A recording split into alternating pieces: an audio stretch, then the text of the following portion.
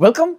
First step is to clean the pots. And just use a cheap sponge and get rid of all that uh, dust on the surface. I'm just gonna start out with the inside.